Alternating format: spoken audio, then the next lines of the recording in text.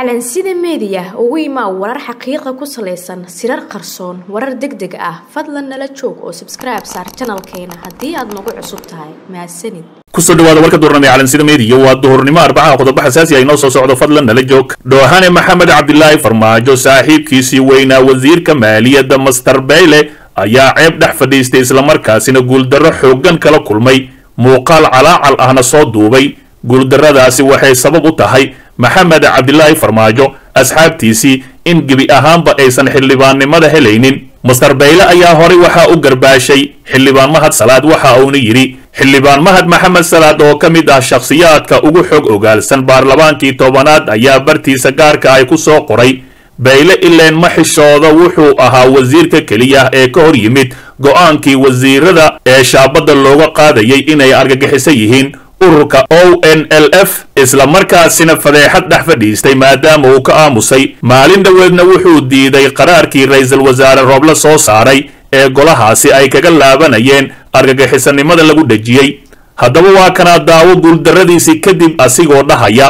Waxaa igu filan in wasiirka maaliyaddan sii ahaado khilaafkii rooble iyo farmaajo rooble oo damacsanaa in xilka laga qaado bayle ayaa farmaajo iyo gebi ahaanba oggolaadeen in ay la heshiiyaan. Waxa uu yidhi wasiir baylaha iga taabanin. Sidaa ayuunu kaga badbaaday seeftii rooble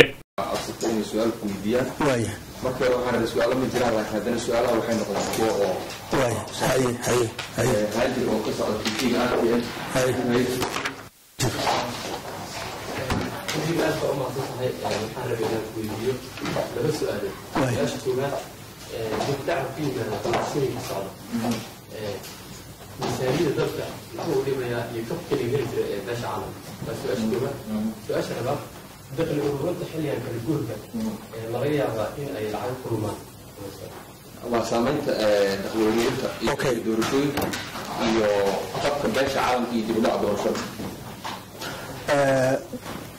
dakhli ururinta waktigan yani wati wakti siyaasadeed baan ku jirnaa waktiga siyaasadeedna kollaba wax badan baa lagu mashquulsan yahay.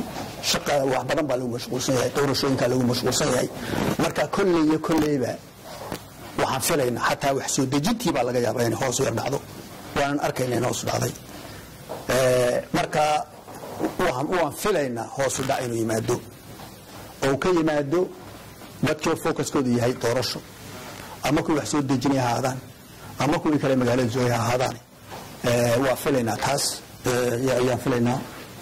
Laakiin waxaan u malaynayaa sida sidaan hore u sheegay inaanay wax badan noqon doonin.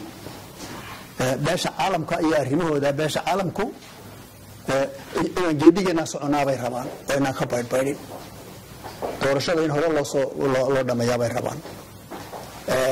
Waxaa markaa aan beesha caalamka ku heshiinay waxaanay awal samayn jirin oonay wadannada kale u samayn. Ayaan ku heshiinay beesha caalamka. Oo hormuud ka yahay i m f hay'adda lacagta adduunka hormuud ka yahay isagaa la dhegeystaa qoladaas la dhegeystaa waxaan ku heshiinay koorska iminkaan wadno ama imtixaanada aan wadno. Inaanay ku xidhin ilaa madaxweyne yimaado inaanay ku xidhin. Hadda naga sii qaadaan. Ilaan shaqadii waan weli waa wadnahay marka hore caadadu waxay ahayd in la joojiyo korjoogtaynta laynagu hayo ilaa doorashadu dhammaato. Markay doorashadu dhammaato madaxda ay la shiraan markaa madaxda waxay ka fahmaan oo waxay noogu qabtaan. Taasaa normally ay qabtaan. Laga anagu waxaan ku nidhi annagu waan joognaaye wax wanaagsanna waa socdaan. Diyaar waxaan u nahay iyadoo siyaasadi socoto inaan inagu imtixaanka gallo. Waxaad noogu talisaana yeelo. Wixii aan ku heshiinana ka soo baxno. Marka maalin dhow waxaan gelaynaa shir weyn. Maalin dhoweedna waan gallay waan gallay mid baan gallay.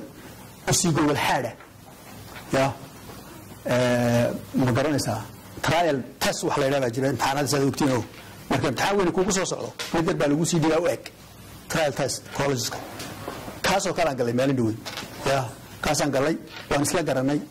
Bishan iminka soo socotay sideed iyo labaatankeeda ilaa bisha kale march sideedeeda waa ten days weeyaan inaanu imtixaan gallo imtixaankaas wuxuu noqonayaa waxaan soo qabanay oo la evaluate gareeyo laba iyo tobanka bilood ee soo socdana la evaluate gareeyo wixii isla dhan oo imtixaankii lanaga qaaday oo waraaqihii la saxay in dabeetana madaxweynaha yimaada maalintuu yimaado. Halkii laga sugi lahaa isaga in hadhow imtixaanka la qaado markuu yimaado in lala dhiskasala la ardaydaadii halkan ay marayaan diyaar ma u tahay inaan hore u wadno iyadoo shaqadii o dhan la qabtay hadday markaa isfahmaan madaxweynaha yimaada madaxweynahan weeyaan madaxweynaha yimaada hadday isfahmaan hadduu madaxweynuhu diyaar u noqdo programka sidaa ay tahay in lagu wado boorkooda geenayaan way dhammaanaysaa isla markaaba horaan ka soconayno hadduu laakiin laablaab keeno ama ay waxba ka fahmi waayaan way joojinayaan programka o dhan bay joojinayaan haddana ra'iisul wasaarehay sugi haddana waxay sugi dowladday sugi waanan ka dhacaynaa markaa waan ka dhacaynaa. Waddadii aan soconnay waa ka dhacaynaa. Hadda si fiican in lai fahmaan rabaa waddadii aan soconnay hol hadday tahay iyadaa waan ka dhacaynaa. Afar sano shan sano soo shaqaynanay waxba ha ka soo qaadin. Nimankaasi niman naxa ma qaanuun bay ku socdaan. Reason iyo waxaas maaha. Haddaad ku socon weydo waad ka dhacaysaa wax alla wixii lagaa dhaafayna waa laguu soo celinaya lacagtii halkaa kolayga aan kuu sheega la sugayna bixi baa lagu oranaya deedna waa adduunka ka mid nahay. Intaasoo wadan baa sidaa lagu sameeyey maarata markaa taasina waa labadii su'aal waa ka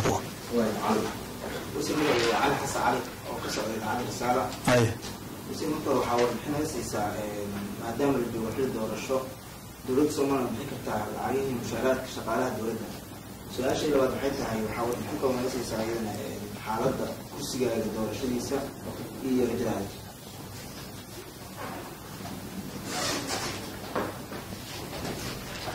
okay eh, shaqaalaha ma la bixin karaa shaqaalaha iyo wixii kale ee- ee muhiima. Eh, maanta waa shan iyo labaatan. Hadday maanta eh, jimcahan laydna shalay oo khamiis ahayd ayaa normally bixina mushaarka. Eh, maanta waa bixinayna laga bilaabo maanta shan iyo labaatanka caadiga ah. Eh, caadatan waxaa ugu horreeya ciidamada. Ciidamada maanta ugu horreysanayna ciidamada afarta ah iyo ciddii kale diyaara marka mushaarka waa la bixinaya shiki male. Bisha soo socotana waa la bixin. Ya kuwa kalena hab tab uun baynu samayn doonaa in la bixiyo. Taasi waa taa weeye. Now maxaad weydiisa kursiga? Miya now waxaan idiin sheegayaa dadka soomaaliyeedna aan doonaya inaan la wadaago. Anigu runtii halkan waxaan u joogaa inaan maamulo miisaaniyadda dalkan wax kale oo aniga halkan aan u jooga. Okay waxaana xildhibaan okay. Laakiin xildhibaan eh, haddaanu wasiir la socon kolleyba anigu ma joogin. Ilaahay barada jecel qof badkiisu muqaadla soo ma? Eh, sharaf weyn bay tahay inaan xildhibaan ahaado. Xildhibaanadu waa dadka wadanka ugu sarreeya wey sharaf weyn wey laakiin anu haddaan tayda ka hadlo miisaaniyadda iyo dhaqaalaha dalka ayaan u joogaa miisaaniyadda iyo dhaqaalaha dalka inaan u maamulo si sharciyaysan oo adduunku og yahayna eh, dad badan baan ku kala dhimanay. Asxaab badan baan ku waayey ya laakiin de qof iyo labiyo saddex iyo toban iyo boqol meeshankaa ka weyn. Marka wax alla wixii carqalad yar u keenaya habsame oo socodka maaliyadeed waan iska leexiyey. Waan iska leexiyaa. Qandaraas eh, wax la qabanayo oo la damco in qof la siiyo iyadoo aan competition loo gelin. Ah, iyadoo aan loo gelin tartan loo gelin. Oo dabeetana si fiican loo xaliyo iyadoo sharciga waafaqsan. In si uu qof loogu leexiyo waan iska leexiyaa taa waxay dhibaata inoo keenaysaa habka miisaaniyadda oo uu ansixiyo eh, muxuu ahaa golaha wasiiradu anigu intaan geeyo tiimku ka soo shaqeeyaan dabeetana aan geeyo eh, muxuu ahaa kaabinetka eh, oo dabeetana la ansixiyo ahaa baarlamaanka loo geeyo soo ansixiyo madaxweynuhu saxeexo wixii intaa aan waafaqsanayna waan iska diiday ya waan iska diiday marka wax alla wixii aniga carqaladii keenaya dalkan carqaladu keenaya ee miisaaniyadda taabanaya. Ya waan diiday marka sidaa waxaan u arkay kursigii iyo maaliyaddii inay isku taabanayaan. Markaa dee un qofkii alla u calfay unba heli doona. Sidaas markaa taasina halkaas ay ayay maraysaa.